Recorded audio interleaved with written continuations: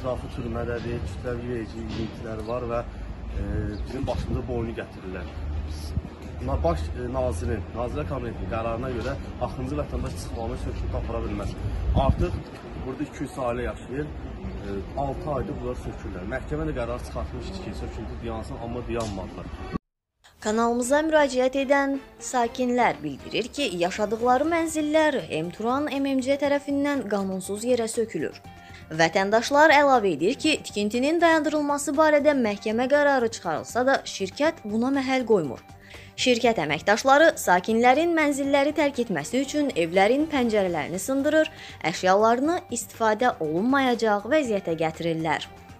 Enturan MMC-yə məxsus qa- qanunsuz bir sərəncam verilmişdir. Belə ki, həmin Enturan şirkəti son 15 ildə heç bir fəaliyyəti olmadan Nərimanov rayon icra başçısı Abdın Fərzəliyev və Şahmar İbadovun vasitəsilə Şahmar İbadovun imişli vətəndaşına verdiyi sərəncama əsasən qa- qanunsuz söküntülər aparılır.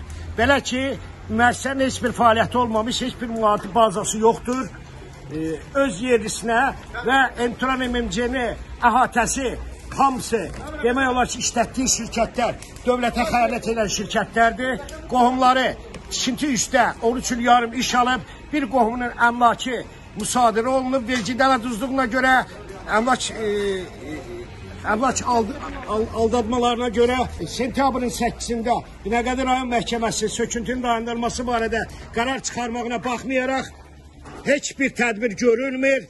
Bir qrup reketlərin e, Bezkredillərin əlində qalmışıq. Bilmirik dərdimizi kimə deyək. Pəncərələrimi sındırıb, reşutkalarımı aparıb, içəri pəncərələrimi çilik-çilik eləyib. Bax, giriş blokun giriş çıxışını bağlayıb, su turbamı vurub sındırıb buldozer. Buldozer evimdə yeni yetmə olu olan, yəni bax bu vəziyyəti, bu vəhşiliyi törədib, yeni yetmə evə daxil olduqdan sonra da giriş çıxışı blokun giriş çıxışını bağlayıb və evin daxilində parketim qarışıq, bütün evin hər bir e, yəni hər şeyinə, hər bir yaşanmaz hala çəkiblər, yaxı salıblar. Siz də məni bağışlayın, unutazıma qədər sındırıblar. Bu yəni bu vəhşilik 41-45-də heç yaşanmayıb, bunlar mənim evimdə törədiblər. Belə olmaz axı. Vətəndaşlar kanalımız vasitəsilə ölkə başçısı İlham Əliyev, birinci vitse-prezident Mehriban Əliyeva və Ambustman Səbinə Əliyevaya müraciət edir. Onlar bu məsələnin araşdırılmasını və bu özbaşınalığın dayandırılmasını xahiş edir.